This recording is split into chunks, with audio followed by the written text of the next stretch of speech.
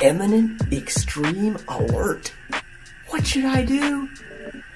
Here's the thing, guys. I don't know about you, but everybody I know got the same text message just a couple days ago. It's called Imminent Extreme Alert. And this was a test. Test of the emergency broadcast system. Guys, has God already been giving us an imminent extreme alert to let us know, hey, wake up, wake up. Are you right with Him? If God were to come, if Jesus were to come back today, are you right with Him and would you be on your way to heaven?